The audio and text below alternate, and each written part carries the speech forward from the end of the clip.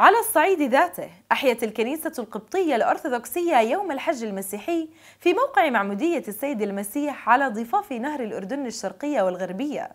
كما احتفلت الكنيسة الأرمنية الأرثوذكسية بقداس احتفالي في كنيسة القديس جربت في المغطس بمناسبة تذكار عيد الظهور الإلهي. إلى المزيد.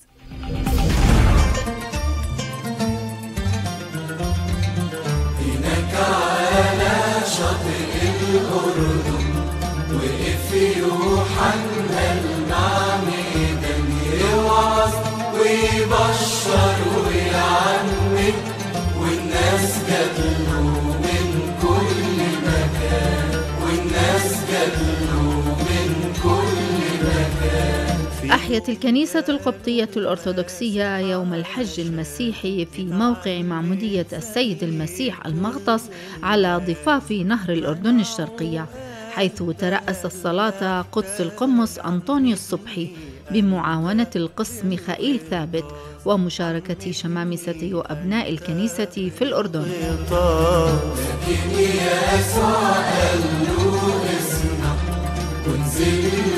في الماء يتعمد ولما صعد بان في السماء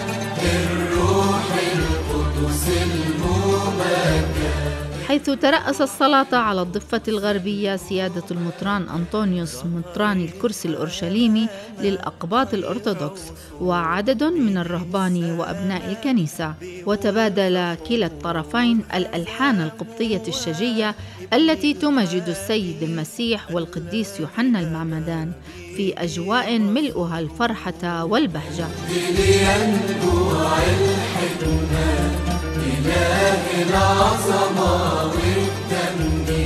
وفي كلمة روحية للقمص أنطونيوس لنورسات شكر خلالها رعاية سيادة المطران على حضوره الدائم والمشاركة البهية في موقع معمودية السيد المسيح. وتأمل قدسه بحادثة الظهور الإلهي حيث اجتمع الثالوث المقدس في هذا الموقع المقدس الذي يمنحنا القوة والبركة في كل عام عند زيارته وأعرب قدسه عن فخره واعتزازه في تأمين كافة سبل الراحة للحجاج الأقباط على الأرض الأردنية خاتما بشكره جلالة قائد البلاد الملك عبد الله الثاني بن الحسين وهيئة موقع المختص وكافة الأجهزة الأمنية على جهودهم المبذولة في حفظ ورعاية هذا الموقع. الذي أنا به مسرور اليوم أتينا هنا لنحتفل بعيد الغطاس المجيد أو عيد الثيوفاني عيد الظهور الإلهي آه، لأن هنا ثلاثة أقانيم ظهروا في النهر آه، نشكر الله آه، رعية كنيستنا القبطية آه، آه، إجا حوالي 400 شخص آه، اشتركنا في الصلاة آه، من ضفتنا هنا الشرقية البركة مع نيافة المطران مطراننا المكرم الأنبا أنطونيوس اللي أتى من الضفة الغربية أتى من القدس إلى هنا مع آه، مجموعة من الرهبان والراهبات والشعب والقبطي آه، من القدس. أتوا هنا واشتركنا في الصلاة آه، مع سوا إحنا وهم يعني. منعوا قال ده أنا المحتاج عمدني أنت. بالغطاس العالم عم بي بيتعجب آه، على المحطات الفضائية لما بيشوفوا كيف اهتمام الدولة هنا آه، بهذا العيد والترتيبات اللي إحنا صار لنا شهر في ترتيبات مع القيادات الأمنية. اجتماعات هنا كم من مرة وهدول رجال آه، جلالة سيدنا الأشاوس اللي بيسهروا دايما وإحنا بنرتاح. فكل عام وأنتم بألف خير. والأردن بألف ألف خير والله يديم آه، بركات هذا النهر اللي تعمد فيه السيد المسيح. وبرضو آه، لا يفوتني إن أنا أقدم آه، الشكر الجزيل لقناة نور سات الأردن وعلى رأس كل العاملين فيها الدكتورة باسمة السمعان على اهتمامكم وتغطية كل نشاطات الكنيسة سواء الروحية أو الاجتماعية. ما بتقصروا يعني. شكرا لكم وإن شاء الله نور سات تكون على آه، على الدوام. آه، تكون آه، قناة آه، فاعلة مؤثرة آه، لكل بلدان العالم ويعطيكم ألف عافية.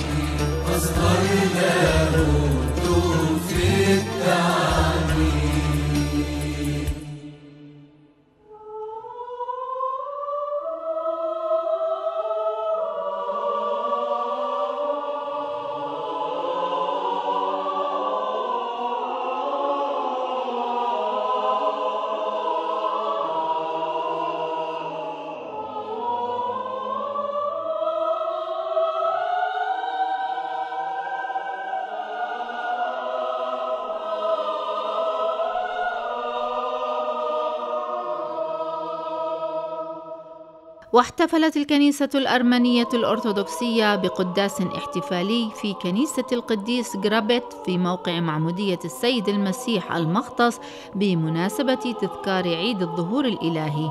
ترأسه قدس الأرشمندريت أبيدس أبرجيان بحضور عدد من أبناء الرعية الأرمنية.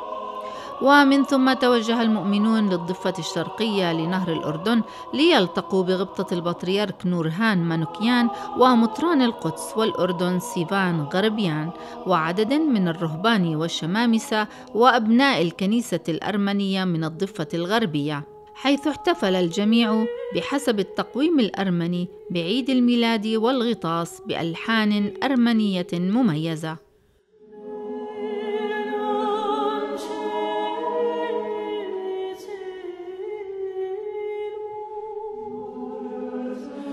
اليوم الأرمن فرحانين اجوا من القدس قبطة البطرك النورهان مانوجيان والمطارنة والخوارنة وجماعة العمان.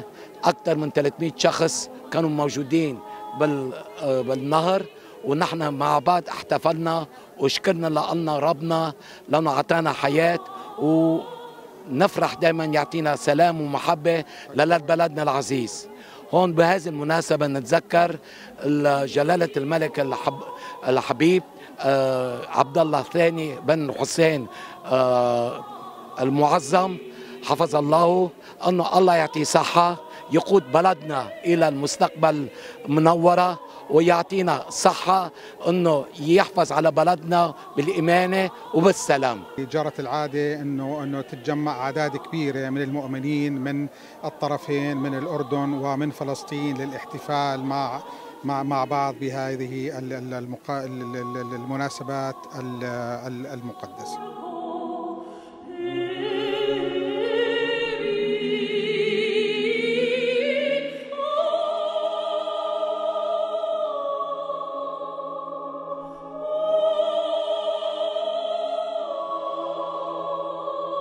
نشكر الله هاي العهدة لأنه أصل الموقع أهميته هو موقع عماد السيد المسيح هو الحج. فهذا مبدأنا إعادة ما تم من قبل السيد المسيح ويوحنا المعمدان وإعادة الحياة الروحية لهذا المكان وجود رجال الدين من كافة الطوائف.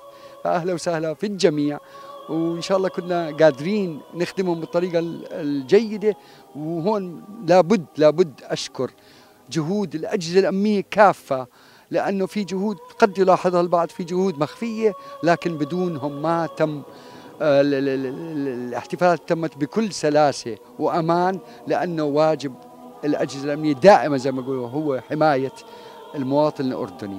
فبنرفع رأسنا فيهم أهلا وسهلا فيكم بموقع المختص زي كل سنة بتنورونا نور سات